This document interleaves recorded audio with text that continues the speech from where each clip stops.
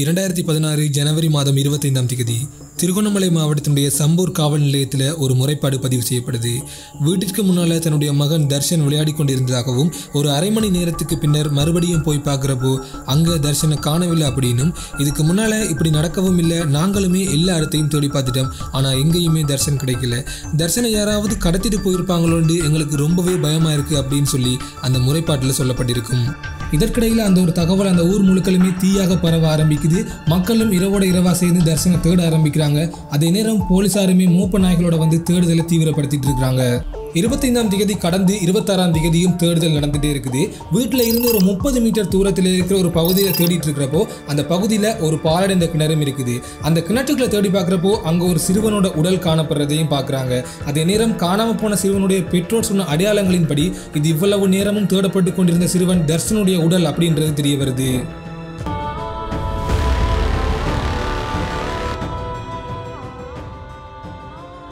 வீட்டுக்கு முன்னால விளையாடி கொண்டிருந்த அந்த சிறுவன் அந்த பகுதிக்கு போறதுக்கு என்ன காரணம்? தர்ஷன் உண்மையிலேயே கால் தவறி கிணத்துக்கு விழுந்தானா? இல்ல யாராவது கொலை பண்ணி அந்த கிணத்துக்குள்ள போட்டாங்களா? இத்தனைக்கும் மேல அந்த சிறுவனோட வயது வெறும் ஆறு தான் இரண்டாயிரத்தி பதினாறுனுடைய ஆரம்ப பகுதியில ஒட்டுமொத்த இலங்கையும் கதிகலங்கி போன இந்த ஒரு வழக்கு பத்தி தான் இந்த வீடியோல பார்க்க போறோம். நீங்க பார்த்துட்டு இருக்கிறது தனு ரிப்போர்ட்ஸ். நான் உங்கள் தனு.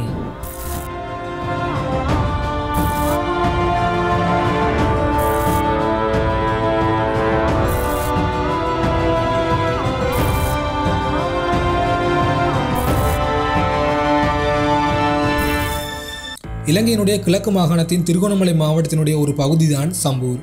இரண்டாயிரத்தி பதினாறில் அந்த பகுதியில் மக்கள் மேல்குடியேறி ஒரு ஐந்து மாதங்கள் தான் இருக்கும். மேல்குடியேற்றம் அப்படின்றது யுத்த காலத்தில் பாதுகாப்பான இடங்களுக்கு சென்ற மக்கள் மறுபடியும் தங்களுடைய சொந்த நிலங்களில் குடியமர்தல் மேல்குடியேற்றம் என்று சொல்லப்படும். ஆனால் இங்கே ஒரு பிரச்சனை இருக்குது. இராணுவம் முழுமையாக அந்த பகுதியிலிருந்து வெளியேறல. இப்படி மேல்குடியேறிய குடும்பங்களில் குகதாஸ் என்பவருடைய குடும்பமும் ஒன்று. இந்த குடும்பத்தில் மூன்றாவதாக பிறந்த குழந்தை தான் தர்ஷன். அப்போ அவனுக்கு ஆறு வயது தான் ஆகியிருக்குது. அதே நேரம் சம்பூர் மகா வித்தியாலயத்தில் தரம் ஒன்றிலையும் கல்வி கற்றுட்டு வாரான். அந்த பகுதி சிறுவர்கள் மாலை நேரத்தில் வீட்டுக்கு முன்பகுதியில் இருக்கிற வீதிகளில் விளையாடுவது வழக்கமான ஒரு செயல்தான். அன்றைக்கு சரியா இரண்டாயிரத்தி பதினாறு ஜனவரி மாதம் இருபத்தைந்தாம் தேதி தர்சனம் அவனுடைய அண்ணாவும் வீட்டுக்கு முன்பக்கத்தில் விளையாடிட்டு இருக்கிறாங்க. பக்கத்தில் இருக்கிற கடையில் போய் ஒரு பொருள் வாங்குறதுக்காக குகதாசான அப்பா தர்ஷனோட அண்ணாவை கடைக்கு அனுப்பவும் செய்திருக்கிறாரு. இப்போ தர்ஷன் வீட்டுக்கு முன்னால தனியாக விளையாடி கொண்டிருக்கிறான். கடைக்கு போன அண்ணா மறுபடியும் வீட்டுக்கு வந்து பார்க்குறப்போ தர்ஷன் அந்த இடத்துல இல்லை. ஆறை வயதான தர்ஷனால் எங்கே போயிருக்க முடியும்? வீட்டுக்குள்ளே தான் எங்கேயாவது இருப்பான். ஆனால் அங்கே நடக்கிற எல்லாமே தப்பாக இருக்குது. தர்ஷன் வீட்டுக்கு உள்ளேயும் இல்லை. விஷயம் அப்பா அம்மாவுக்கு போகுது. ஆனால் அவங்களுமே அண்ணாவை கடைக்கு அனுப்பினதுல இருந்து தர்ஷனை பார்க்கல. வீட்டை சுற்றி எல்லா இடமுமே தேடி பார்க்குறாங்க பட் தர்ஷன் வீட்டுக்கு உள்ளவும் இல்லை வெளியவும் இல்லை. வீட்டில் இருந்து ரொம்ப தூரம் போகிற அளவுக்கு தர்ஷனுக்கு இது பழக்கமான இடம் கிடையாது. அதே நேரம் இதுக்கு முதல்ல இப்படி நடக்கவும் இல்லை. நிலைமை மோசமாகி கொண்டு போகிறத உணர்ந்த பெற்றோர் மாலை ஐந்து முப்பது மணி அப்படி சம்பூர் காவல் நிலையத்தில் ஒரு முறைப்பாட்டையும் பதிவு செய்கிறாங்க.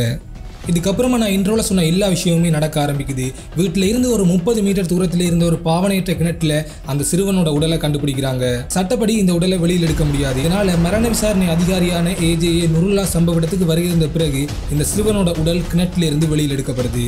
இவ்வளவு நேரமும் சிறுவன் தவறுதலாகத்தான் கிணத்துக்கு விழுந்திருக்கணும் அப்படின்னு ஊர் மக்கள் நினைச்சிட்டு இருந்தாங்க. ஆனால் உடல் வெளியில் எடுக்கப்பட்ட பிறகுதான் தெரியும். இது ஒரு விபத்து இல்லை. திட்டமிடப்பட்ட கொலை அப்படின்னு. ஏன் அப்படின்னு சொன்னா இந்த சிறுவனோட உடல் ஒரு மூன்று கிலோகிராம் திணிவுள்ள ஒரு கல்லோட கட்டப்பட்ட நிலையில காணப்பட்டிருக்குது. அது மட்டும் இல்லாம சிறுவன் பாலியல் வன்கொடுமைக்கு உட்பட்ட சில ஆதாரங்களும் உடலில் காணப்பட்டதாக ஊர் மக்கள் சொல்லியிருப்பாங்க. ஆனா இதை வச்சு எந்த ஒரு முடிவுக்கும் வர முடியாது. உடற்கூற்று ஆய்வு பண்றதுக்காக உடல் திருகோணமலை வைத்தியசாலைக்கு அனுப்பப்படுது. அதே நேரம் காவல்துறையும் விசாரணையை துரிதப்படுத்துறாங்க. சந்தேகத்தின் பேரில் அதே ஊரைச் சேர்ந்த பதினாறு வயதுள்ள ஒரு இளைஞனையும் கைது பண்ணுறாங்க. அதே நேரம் ஃபொரன்சிக்ஸ் டிபார்ட்மெண்ட்டும் இந்த கிரைம் நடந்த இடத்தை சுற்றி ஏதாவது எவிடன்ஸ் கிடைக்குதா அப்படின்னு செக் பண்ணி பார்க்குறாங்க. ஆனால் குற்றவாளியை கைது பண்ணுற அளவுக்கோ இல்லை குற்றவாளியை இனங்கான்ற அளவுக்கோ அவங்களுக்கு அங்கே எந்த விதமான எவிடன்ஸுமே கிடைக்கல. கண்டிப்பாக தப்பு பண்ணவன் ஏதாவது ஒரு எவிடன்ஸ் அங்கே விட்டுட்டு தான் போயிருப்பான். அதே மாதிரி அந்த பாவனையற்ற கிணற்றுக்கு பக்கத்தில் ஒரு வீடு இருந்திருக்கு. அந்த வீட்டினுடைய சுவரில் சப்பாத்து காலடித்தனங்கள் காணப்பட்டிருக்குது. அதே நேரம் அந்த சப்பாத்து காலடித்தனங்களை யாரோ அழிக்கிறதுக்கு ட்ரை பண்ண மாதிரி இருந்திருக்கு அப்படின்னு சொல்லியிருப்பாங்க. ஆனால் இதை வச்சு இந்த கொலையை நாங்கள் நேரடியாக தொடர்புபடுத்த முடியாது. மருத்துவ அதிகாரியான டபிள்யூஆர்ஏஎஸ் ராஜபக்ச தலைமையில் நடந்த உடற்கூற்று ஆய்வினுடைய அறிக்கை இருபத்தேழாம் திகதி காலையில் வெளிவருது. அதில் சொல்லப்பட்ட விஷயம் நீரில் மூழ்கினதால தான் மரணம் நிகழ்ந்திருக்கின்றும் பாலியல் ரீதியான துஷ்பிரயோகம் நடந்ததுக்கு எந்த ஒரு சான்றுமே உடலில் இல்லை அப்படின்னும் கூறப்பட்டிருக்கும். அதே நாள் தர்சனோட உடல் பெற்றோர்கிட்ட ஒப்படைக்கப்படுது. இப்போ குற்றவாளிகளுக்கு எதிராக இருக்கிறது சப்பாத்து காலனித்தனங்கள் மட்டும்தான். பட் இது ஒரு பிசிக்கல் எவிடன்ஸ் இதை கொலையோட நேரடியாக தொடர்புபடுத்த முடியாது. இனி நான் சொல்ல போகிற ஒவ்வொரு விஷயங்களும் உங்களுக்கு அதிர்ச்சி அளிக்கக்கூடிய மாதிரி இருக்கும். நான் ஆரம்பத்திலே சொல்லியிருப்பேன் இந்த சம்பூர் கிராமத்திலிருந்து ராணுவம் முற்றுமுழுதா என்று இந்த கிணறு விதுர கடற்படை பயிற்சி தளத்துக்கு மிக அருகிலேயே காணப்படுது. அந்த பகுதியில் அந்த நேரத்தில் சப்பாத்து போடுறதுன்னு சொன்னால் ஒன்று பாடசாலை மாணவர்களாக இருக்கணும் அப்படி இல்லைன்னா இராணுவமாக இருக்கணும். அப்படின்னா இந்த கொலையை நீ பாடசாலை மாணவர்களோட தொடர்புபடுத்துறியா அப்படின்னு கேட்கலாம். கண்டிப்பா கிடையாது. ஏன் அப்படின்னு சொன்னா உடல் வெளியில் எடுக்கப்பட்ட பிறகு எடுக்கப்பட்ட இந்த ஒரு போட்டோவை வடிவா அப்சர்வ் பண்ணுங்க. உங்களாலேயே நிறைய விஷயங்களை அனலைஸ் பண்ணக்கூடிய மாதிரி இருக்கும். சிறுவனை அந்த கல்லோட கட்டி கிணத்துல போடப்பட்டதுக்கு பயன்படுத்தப்பட்ட கயிறு ஒரு சூலேஸ் அதுவும் சாதாரணமான சூலேஸ் கிடையாது. இராணுவத்தினர் அணிகிற சப்பாத்தினுடைய சூலேஸ் இப்போ இது எல்லாத்தையும் ஒன்றுக்கொன்று நீங்களே கனெக்ட் பண்ணி பாருங்க. இப்போ இருக்கிற மிகப்பெரிய சந்தேகம் தரிசனை யாராவது கடத்திட்டு போனாங்களா? இல்லை யாரும் கூப்பிட்டு அந்த இடத்துக்கு போனானா என்றதுதான். இந்த கேஸை பொறுத்த மட்டும் எது உண்மை அப்படின்றதே மிகப்பெரிய குழப்பமா இருக்குது. போஸ்ட்மார்ட்டம் ரிப்போர்ட்டில் சொல்லப்பட்ட விஷயம் சிறுவன் நீரில் மூழ்கினதால தான் உயிரிழந்திருக்கிறான் அப்படின்னு சொல்லி.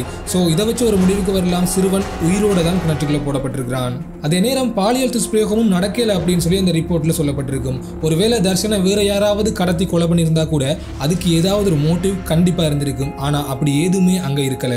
ஆறே வயதான இந்த ஒரு சிறுவன் எந்த ஒரு காரணமும் எந்த ஒரு நோக்கமும் இல்லாமல் கொலை செய்யப்பட்டானா அப்படின்றது இப்போ இருக்கிற மிகப்பெரிய ஒரு கேள்விக்குறி தான் ஊர் மக்கள் சொல்ற மாதிரி உண்மையிலேயே பாலியல் துஷ்பிரயோகம் நடந்திருந்தா சிறுவன் இதை கண்டிப்பா வெளியில சொல்லுவான். சோ இதை மறைக்கிறதுக்காக இந்த கொலை நடந்திருக்கலாம். சப்பாத்து காலடி தடங்கள் ஷூலேஸ் இந்த ஆதாரங்கள் இந்த கொலையோட நேரடியா தொடர்புபடுது.